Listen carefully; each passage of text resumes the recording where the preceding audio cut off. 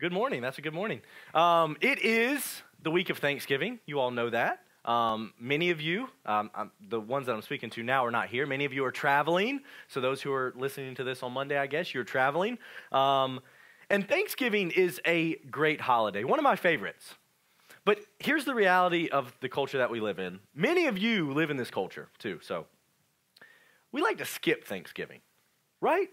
Like, some of you have been decorated since October for Christmas, right? Like, like November doesn't exist. Well, it does. It's just decorating time for the big crescendo in December where Christmas time comes. And listen to me, I love Christmas.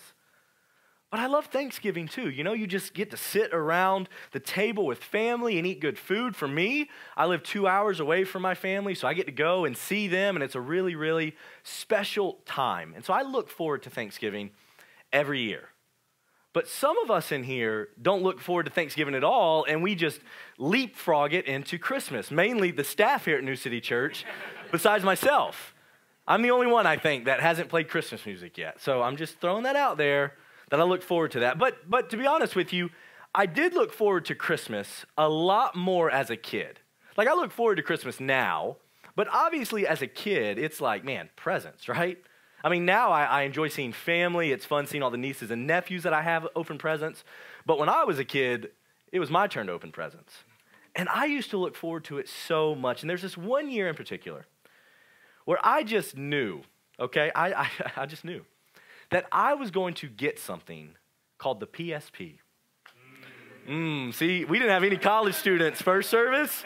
So everybody over 30 is like, uh, what's a PSP? You know, they're, they're playing Game Boys. So, you know, thank you. PSP, guys, PSP. And what that stands for is PlayStation Portable. Yes. Wow. Hey, 1 Corinthians 15, y'all want it? No, okay. Good. PlayStation. I knew I was getting one. I just knew it. I had asked, and then one day I saw the box under the tree. I was looking to see how many I had, you know, versus my sister, and I saw the rectangle box that it came in, and I just knew that it was a PSP. So what I did was I carefully shook it to make sure, and then I carefully unwrapped it to really make sure, and then I carefully unboxed it and played it for two weeks until Christmas happened. I was so excited about the PSP, and I looked forward to it so much. I just couldn't help myself. I had to play it, and so Christmas morning came, and I opened it, and I was really surprised. And you know, it was like a game had already been saved to it. And so it was just like, my dad's like, you want me to help you set it up? I'm like, oh, I got it, I got it. So it was great. Okay, so that was the PSP. That was, I think, my fifth grade year. And I looked forward to it so much. So why do I share that story? Besides illustrating that, like, you know, I open presents if they're under the tree for me. So I, there's no surprises here, okay? I ask that, or I, I tell that question because we're going to ask this question. And in light of this question, read 1 Corinthians 15. And the question is this as believers, what do we have to look forward to? I mean, we have Jesus inside of us as believers, right? And like we can think about heaven, but maybe our morning devotions or what we study in our free time is not this whole idea of what that day actually looks like when bodies are resurrected and we meet with Jesus and are welcomed into a new heaven and a new earth with Him. What do we have to look forward to? Is that one of those things? And so that's what we're going to really be looking at today as we wrap up our series masterclass. We've been in 1 Corinthians for about um, a year now, taking breaks for a few different short series, um, but we've been in 1 Corinthians for a while now. And so we're going to end today in 1 Corinthians chapter 15, looking at the final eight to nine verses in chapter 15. Um, and it's just been a really, really special time. And so I know that on the last day of class, we all hate the teacher that tries to teach us something or give us homework or any of that stuff. I get that. But here's the good news God still wants to teach us something, even on the last day of class. And so I hope that you're here to learn a lot because I'm telling you, the, the scriptures are sweet, and this just presents a really, really um, big picture of the love of Jesus and what he has in store for us. And so 1 Corinthians 15 starting in uh, verse 50. If you do not have a Bible around you, there or if you do not bring a Bible with you, there's a black one somewhere around you. And if you do not own a Bible, please take that one home. It's our gift to you. But 1 Corinthians 15, starting in verse 50, here's what it says What I am saying, brothers and sisters, is this flesh and blood cannot inherit the kingdom of God, nor can corruption inherit incorruption. Listen, I am telling a mystery. We will not all fall asleep but we will all be changed in a moment, in the twinkling of an eye, at the last trumpet. For the trumpet will sound, and the dead will be raised incorruptible, and we will be changed. So let's just pause there and define a few things. So Paul lays out in verse 50 this saying, and then he says that this is what I'm saying flesh and blood cannot inherit the kingdom of God. On the surface, right there, we have a problem. Because as Paul talks about flesh and blood, what he means is this body that you and I walk in, this body that is decaying, this body that gets sick, this body that will one day die. And then on the other side, the supernatural side, this body that sins, this body that does things that we can't even begin to justify. And Paul is saying, look, the flesh and blood, that cannot inherit the kingdom of God. He parallels this with maybe a, a, a, greater picture for us to understand what he's saying that incorruption cannot inherit corruption, corruption cannot inherit incorruption. And so there's a problem. Because if you and I walk in this fleshly body, which we all do, all of us in here are walking in flesh, all of us in here live in bodies that get sick and that are dying and decaying, then what do we do if they cannot inherit the kingdom of God? Paul continues and he says this Listen, this is what I'm saying in verse 51. I'm telling you a mystery. We will not all fall asleep, but we will all be changed. What he's referencing here is if you remember a little bit uh, earlier in, in, in chapter 15, he used this phrase that some have fallen asleep. And essentially, what he means is that some have died. When he says asleep and fall asleep, it's, it's some have died, but some haven't. And what Paul is referencing here is this day where the Lord returns and the bodies are resurrected to him. Those who have gone into the ground are resurrected back to, for him. But some, if, if Jesus came right now, our bodies are not in the ground. And so we would be in that category of we will not all fall asleep, but, and here's where we're going to spend a majority of our time on this topic, he says we will all be changed. We will not all fall asleep, but we will all be changed. He says this in verse 52, and then we continue it as we read together. But here is just what we want you to know on the surface, and maybe I've said it a hundred times and you're like, well, duh. But here's what you need to know that you will be changed. You will be changed. You might not fall asleep, you might not die before the Lord returns, but all of us, dead or alive, will be changed on this day. And so this is a future event. Paul makes no mistake about it, and he's referring to something that has not yet quite happened. But just before we go any further, what does this, you know, changed mean? Because honestly, this is a huge topic. This is a huge theological debate for years, for years. Men and women would argue in the first all the way up to the 10th century of what does this mean for Christ to have a body and for him to bodily resurrect and did he actually bodily resurrect and what does that mean for us? It's a huge topic. So I just want to give you the Cliff Notes version, okay, of like what this actually means when Paul says we will be changed and our bodies will be resurrected. So right now, we live in a body that is dying. We live in a body that sins more than we would like to admit.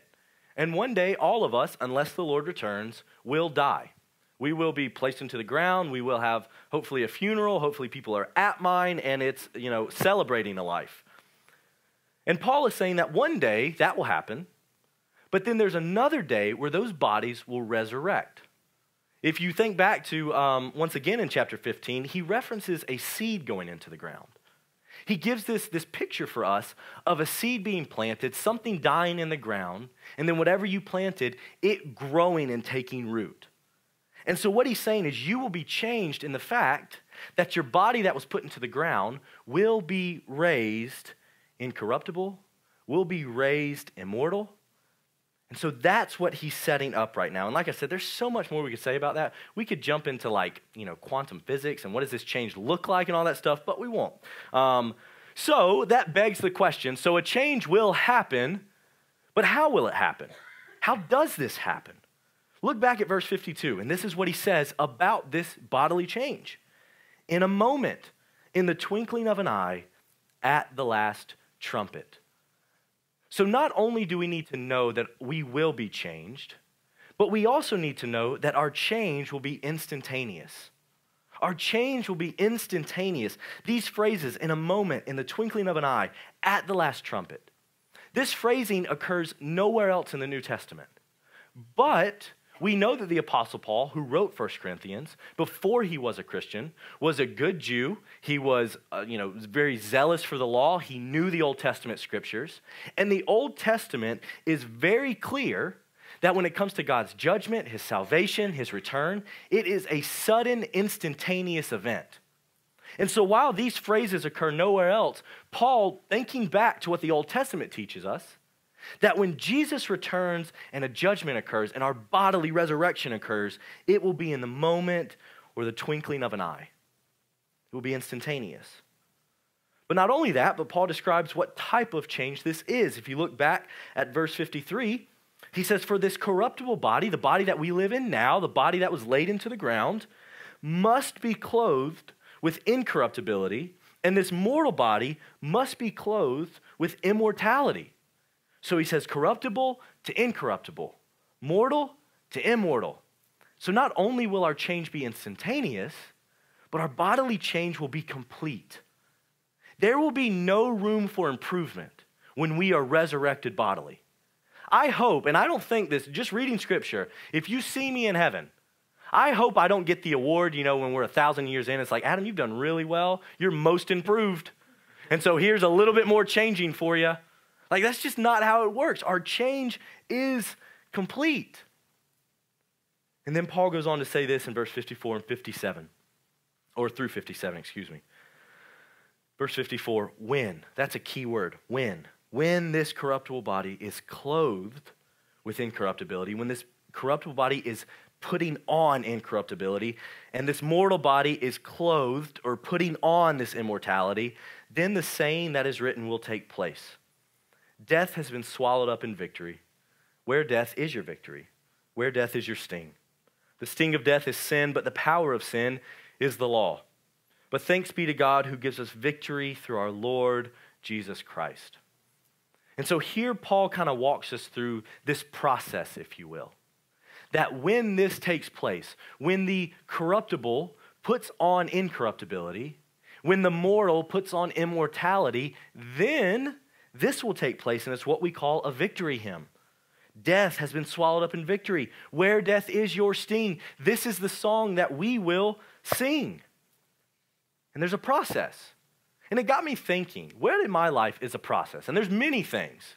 But I was reminded just recently of the process of graduation, okay?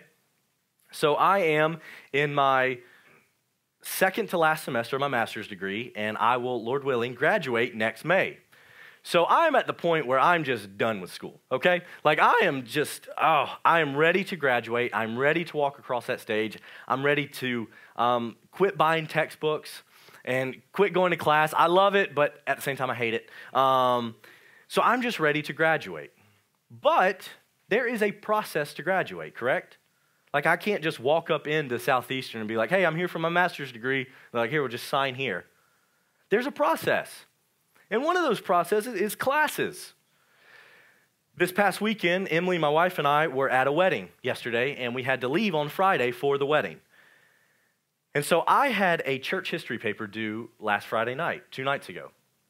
And so I knew that in order to graduate, the process that has to take place is I have to take church history, I have to write a paper so that I can pass church history. And guys, I sat in the library most of the week and just did not care about St. Jerome.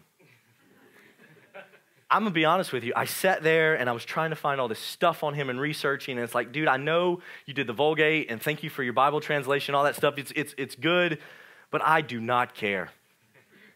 But here's the thing there's a process.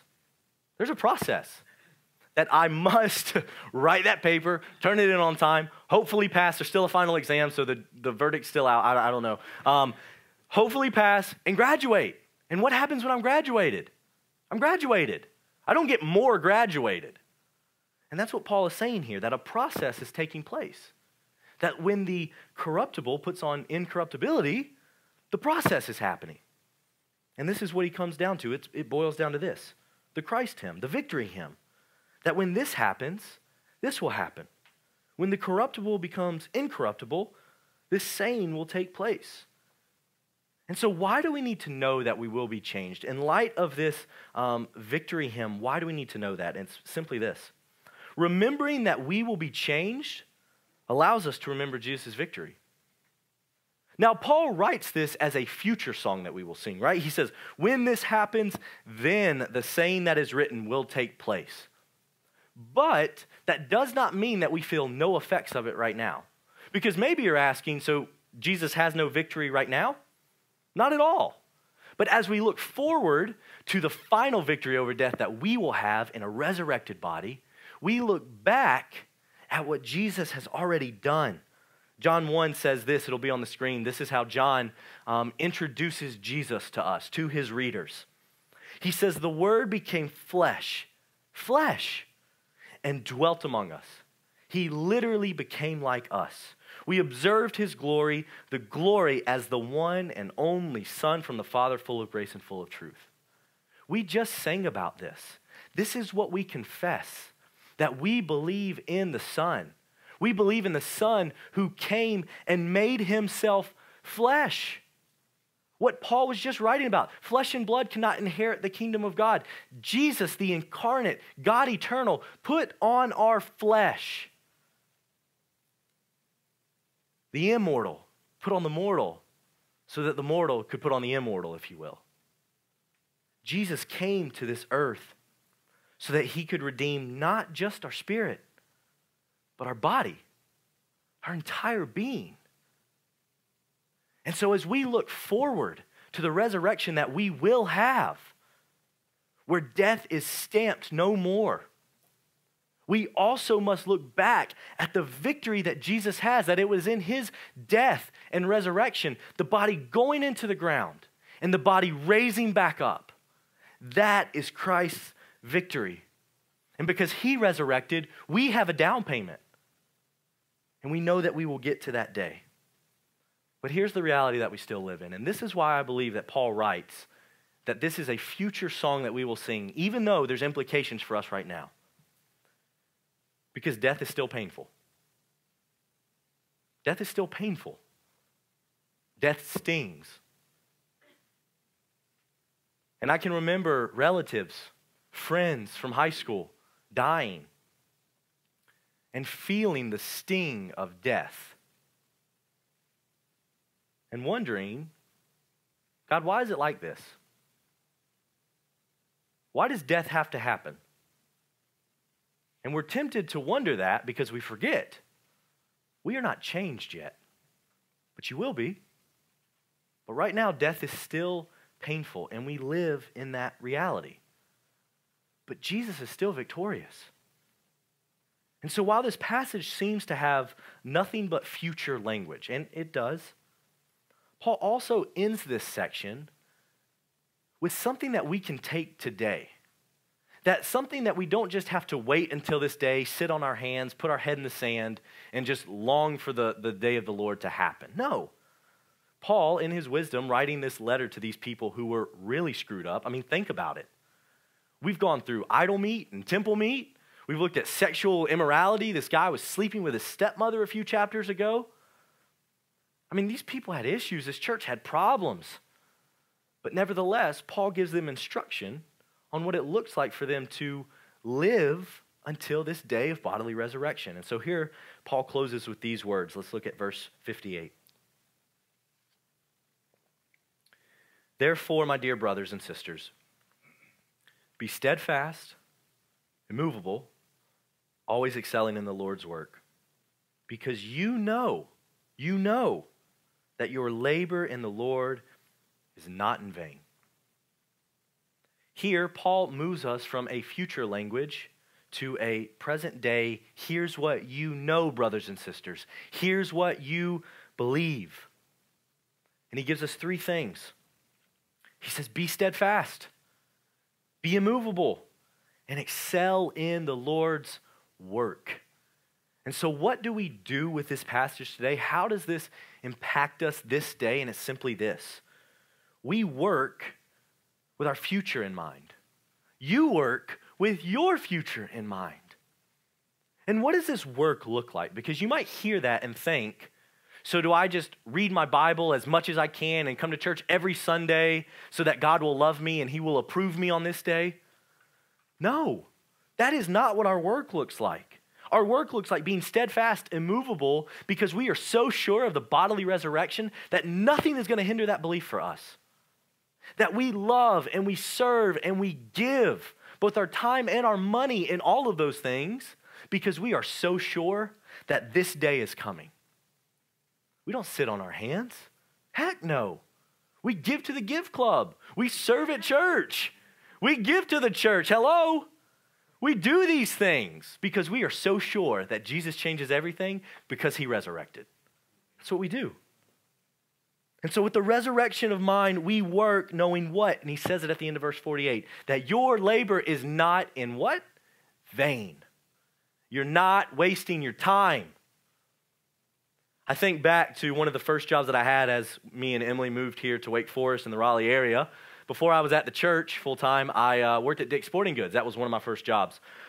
Not first jobs in my life, but just here. I did work at Starbucks for a month, and it was awful, so I quit. Um, man, it was awful. That drive through was so backed up when I was on. It was awful. Awful.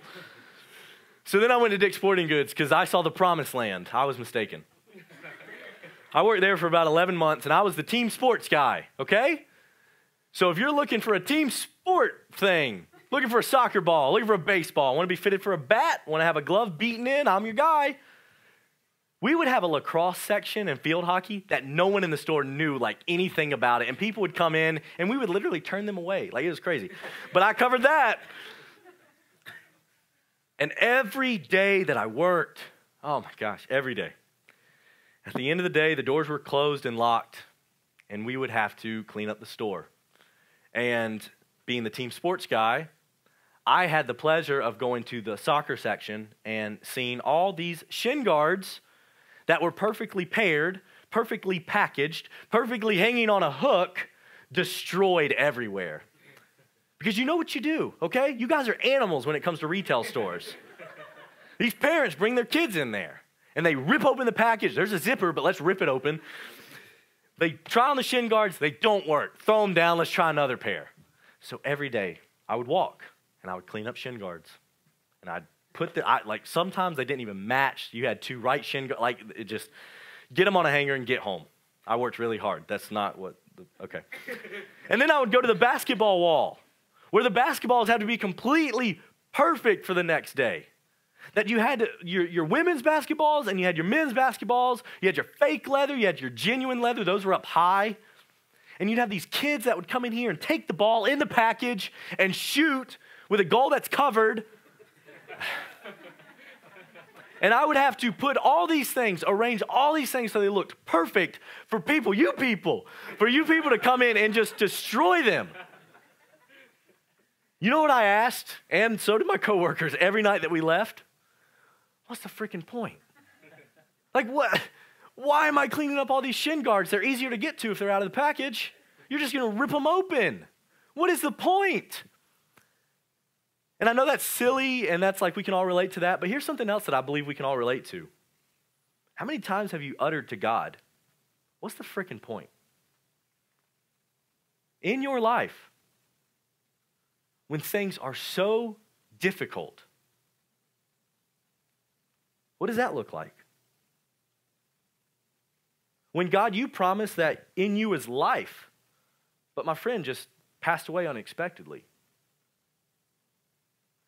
Jesus, you promised that you are pure, but this addiction keeps rearing its ugly head. What's the freaking point?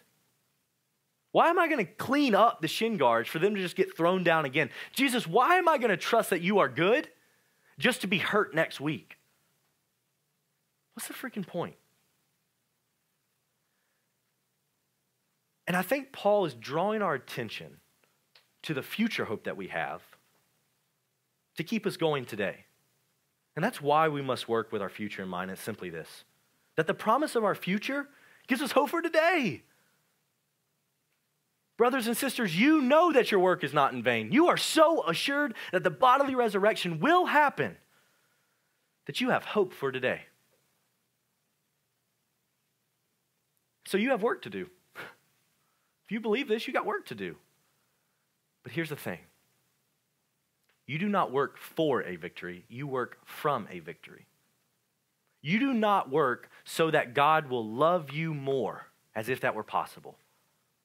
We work, we serve, we give, we live, we clean up the shin guards because Jesus loves us and have called us his own. And so, what is the gospel? That Jesus put on flesh, walked among us, was crucified, was buried, and then resurrected bodily so that one day we will be too. And maybe you're thinking, okay, well, that's great, but Adam, so far you've only spoken to believers. I'm not a believer. I don't even know who this Jesus guy is. I'm not too sure about this. What does this have to do with me? I'm glad you asked. Because the Bible tells us that God desires for none to perish, but for all to come into relationship with Him. Because of that, we can conclude that God also desires that on this day, when he returns and bodies are resurrected, that he can welcome you into that. That your body will be resurrected and welcomed into your eternal home. Jesus has come for people like you and me. Not impressive, get it wrong most of the time, still wondering why I'm not changed yet. Jesus came for me and you. And you can have a relationship with him today. We say it all the time at New City, but simply put, the gospel is that we have nothing to prove and no one to impress. And I'm not that impressive. The gospel is good news because we have a resurrected Savior. If he's not resurrected, then we don't work knowing that our, our, our work is not in vain. And because of that, we can make it through today. And so, our bottom line, honestly, as we wrap up this entire series, okay, as we wrap up 1 Corinthians, specifically wrapping up chapter 15 right here, this isn't really a tweetable bottom line. But if I could just encourage you a little bit, I think this is what Paul would say, even to the people in Corinth that were really screwed up. And it's simply this hold on. Hold on. What's your alternative? Give up? Hold on. But I thought I'd be married by now. Hold on. I thought my marriage would be better than this. Hold on. I got to see those family members in four days sitting around a table with them, and I hate them. Hold on. I thought I'd beat this addiction by now. Hold on. I don't even want to live another day.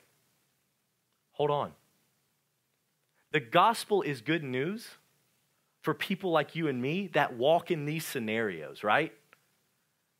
That when we don't like the people we're sitting at, sitting with at Thanksgiving, when our marriage is awful, it's falling apart, we didn't think it'd be like this. When we're still not over things we've been battling for years, what do we do? We hold on to Jesus and know that his down payment in his body, in his resurrection, man, it attributes it to us. And so if you're in here today and you're just really struggling, first of all, thanks for being here because this is the place to struggle so that we can struggle together. And second of all, Jesus is doing something in your pain. He's doing something in the sexual immorality that was happening in the Corinthian church. He's doing something. And no other God, no other religion can claim that. And so hold on today because a victory is coming. And one day we will sing, Death, where is your sting? Because I don't feel it no more. There is no more death. I don't feel my sin no more. I can sing victoriously. And until then, walk in this process. Just like graduation, right? Maybe your church history paper is what you have to deal with this week. We do it knowing that Jesus is doing something in our lives. And so the bottom line for today is simply hold on because dawn is coming. Let's pray. Jesus.